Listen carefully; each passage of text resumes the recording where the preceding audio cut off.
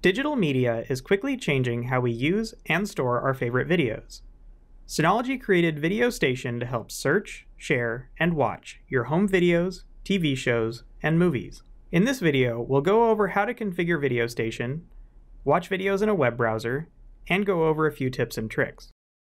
First, make sure the Video Station package has been installed from the Package Center. Next, you'll want to have some videos stored on your NAS, with movies, TV shows, and home video separated into different subfolders. With the installation of Video Station, the NAS will provide a folder called Video automatically.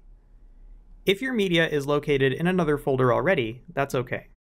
With both these items completed, open Video Station from the main menu. The Video Station window will show a message that no videos are available. At this point, Video Station wants your input to understand what types of media are located in different folders. Click the message shown, or click the Settings button to configure the locations of your videos. The system will have you select a folder, then the type of video in that folder, and the language of the videos. Because of this, it is important to have some organization for your collection so that items appear in the correct categories and the right data about your videos is displayed in Video Station. In this case, the movies, TV shows, and home videos are in their own folders. Upon clicking OK, the system will scan the folder to index the files and search for more information about the videos that are indexed. This process may take some time. Repeat this process for the predefined categories that you have videos for.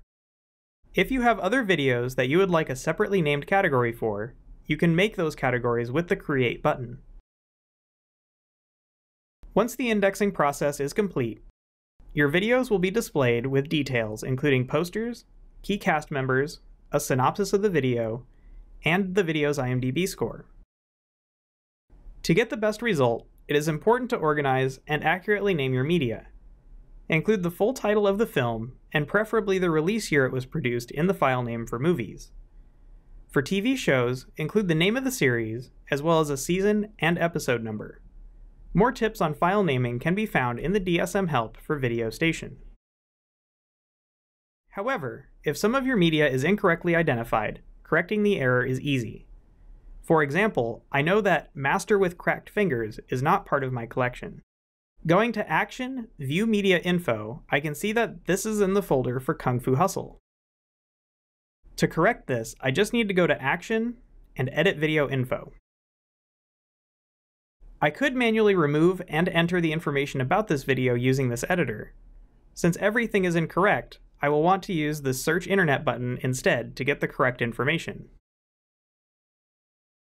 The search has multiple results as more than one source for the video information is used. Applying the first result gives the correct information. However, I'm not a fan of the poster that was given automatically. I'll see if IMDb has a better one using the link provided. The one IMDb has is more to my taste. I'll get the URL of the larger version, then edit the video information in Video Station again to apply it. If you have your own image that you would like to use for the poster, you can place images in the folder with the video.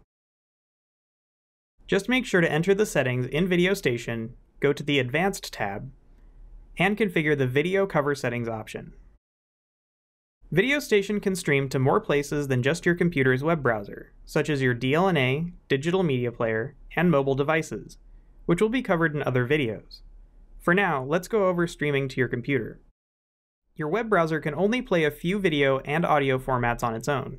To enhance the playback functionality of your browser, it is recommended that you install the free VLC media player from videolan.org. During the installation of VLC, be sure Mozilla Plugin and ActiveX Plugin are selected, as these install the web browser components of VLC. On some models of Synology NAS, you may have the option to enable hardware acceleration for video transcoding in the Advanced tab of Video Station settings.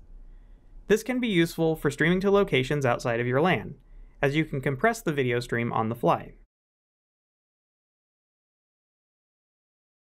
Now that Video Station is configured, let's take a look at some of the options during streaming. To show options for subtitles and alternate language tracks, I'll select to stream Akira. Once the stream begins, I can select the streaming quality and audio language from the gear icon. In this case, I can choose between Japanese and English. Clicking the button with a T allows me to choose subtitles. In this case, there are subtitles already included in the video file, but there is an option to search for subtitles as well. Going back to the main video station window, we'll go over how to share a video as a link. With Quick Connect configured, select your video, then go to the Action menu and select Share with the Public. This will give you a link that you can send to friends, family, or colleagues. VideoStation is a powerful tool when files are well named and organized, allowing you to search by genres, actors, directors, and so much more. For more details on streaming to your mobile devices with DS Video and digital media players, be sure to check out our other videos. Thank you for watching.